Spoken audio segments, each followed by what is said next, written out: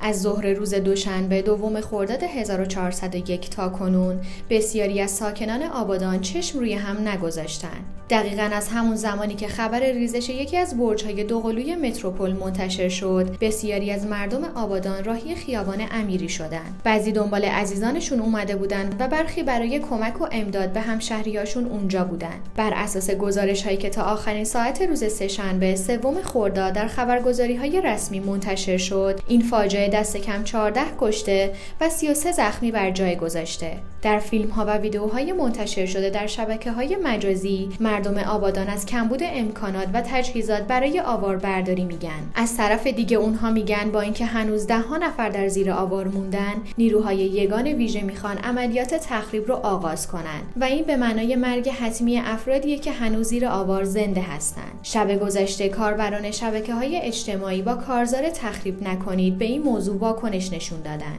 حسین عبدالباقی صاحب برج فروریخته متروپوله کسی که به عنوان خیر امنیت ساز لوح تشویق دریافت کرده بود و بنرهای تبلیغات هلدینگ ساختمان سازی و انبوه سازیش در گوشه و کنار شهر آبادان به چشم می‌خوره. خبرگزاری ایرنا ساعتی بعد از فرو ریختن برج خبر بازداشتش رو منتشر کرد. چند ساعت بعد اما بازی عوض شد و نام عبدالباقی به فهرست کشته شدگان راه پیدا کرد. دادستانی خوزستان خبر داد که جنازه غیرقابل تشخیصی را از زیر آوار بیرون کشیدن و بعد از بررسی اسناد هویتی که از جسد کشف شده به این نتیجه رسیدن که جسد حسین عبدالباقیه. اما هنوز هم بسیاری از آبادانی ها مرگ او را باور نمی‌کنند. یکی از شهروندان آبادانی در این باره میگه الان مسئله ما عبدالباقی نیست. جوانهامون زیر خاک موندن. همون جوانهایی که قرار بود با ساختن برج های متروپول و رونق گرفتن کافه های خیابان امیری اینجا رو پاتوق کنند به خدا اینجا جهنمه. فاجعه است. شبیه پلاسکو نیست. اینجا شبیه سینما رکسه.